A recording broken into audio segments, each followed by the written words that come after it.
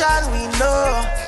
Locked up and. The person that I would love to be locked up in lockdown with the most would be my daughter and Oprah Winfrey because I feel that Oprah Winfrey is uh, very interesting and would have a lot of stuff to talk about.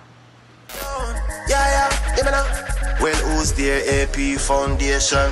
Come fi give another youth a foundation. Say we all need a little direction. And AP know they get to education.